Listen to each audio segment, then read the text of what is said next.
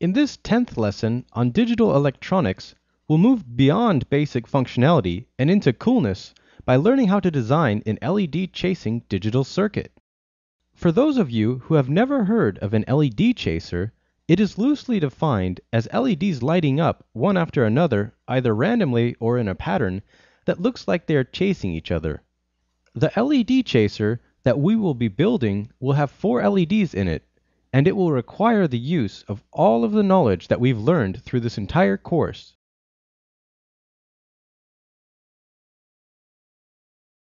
In the upper right hand corner of your screen, you can see an example of the output we're trying to create to make the LED chaser. Four logic 1s should be shifted through, and then four logic 0s should be shifted through. This process should switch back and forth forever, shifting groups of four logic 1 and then four logic 0 back and forth. To make this circuit, we must first look at the high-level requirements. 1. We will definitely need to have a shift register. 2. We need a way to know whether we should shift in logic 0s or logic 1s to the shift register. We'll discuss using a state machine later. 3. We need a way to trigger that state machine between two logic 0 and logic 1 inputs. 4. We need a system clock to drive the logic circuit at a certain frequency. As before, we used the 555 timer, so we'll use it again. Let's go through the design issues one at a time. First, we need to have a shift register. That means that we'll use 4D flip-flops like we saw in the 4-bit shift register lesson. The logic diagram for this part will stay exactly the same as when we last saw it. Next, we need to build what is called a state machine, and here is what is called a state diagram. Each state in a state diagram has an output and an input that tells it to change its state. In this case, state 0 will always output logic 0 to the shift register, and state 1 will always output a logic 1 to the shift register. But now, how do we trigger each state to be active? A very easy way to build a two-state machine is to use the SR latch from lesson 5. The latch will either be set or reset, meaning that the system will either be in state 0 or state 1.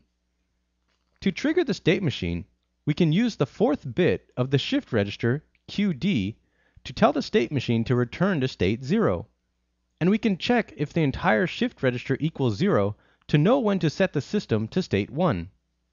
If we go back to our state diagram, now we can see that when all outputs equal 0, the system moves to state 1, and when QD equals 1, the system resets back to state 0. Thus, the system can either be in state 0 or state 1. The final need is for a system clock. You can use either the 555 timer or the crystal oscillator from the components kit. We will use the 555 timer at 0.5 Hz to start things out. So that's enough with the raw theory. Let's put everything together. Now we'll look at things at the schematic level to see how the theory maps over to reality. The first two sections of the schematic are the familiar power regulation circuit and 555 timer in astable mode.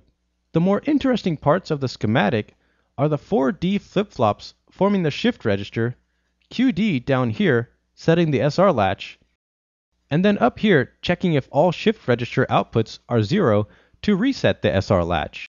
All of that complex theory can make your head spin when you only wish to build a cool circuit, but it's important to go through that process to see how you must think when designing something new, fun, and maybe even useful. Again, here's the schematic of what we're going to build in a moment. Refer back to it if we move too fast. The parts we'll need for this experiment are the jumper wire kit, a breadboard, a 9 volt battery, and from the components kit,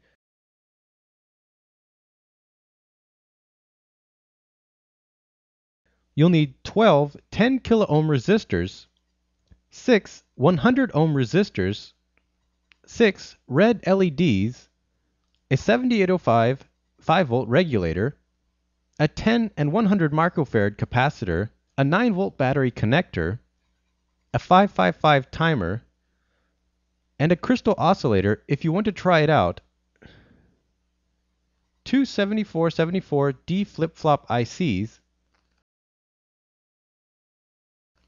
a 7408 AND gate IC, and a 7402 NOR gate IC.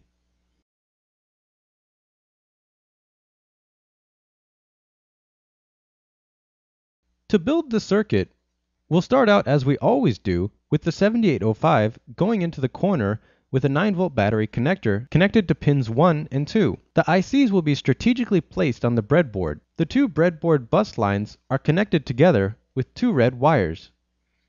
All of the power connections are made and then all of the ground connections are made. From this point, follow the schematic carefully and refer to our time lapse currently playing to build the circuit yourself. This is the most complex circuit of the course, so it might take some time for you to assemble it together.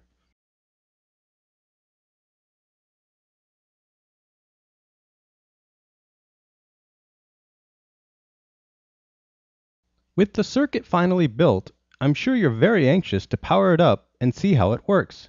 So we'll connect the 9 volt battery to the system, and voila! The LEDs light up and chase each other in periods of 4.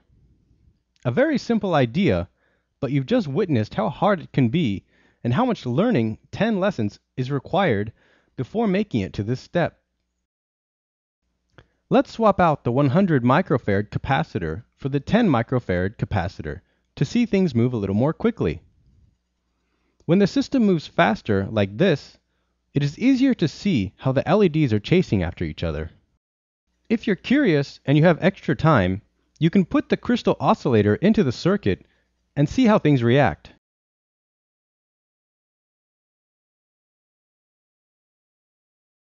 Just like with our previous two design lessons, there are actually dedicated ICs that can perform the task of LED chasing in a single IC. However, learning the all digital logic design method first is extremely important because then you know exactly what is happening on the inside and can build a better design. There's probably no real world application of an LED chaser beyond looking cool. But building something fun was the goal of this lesson. I hope you feel that we achieved it and learned something about digital logic design in the process.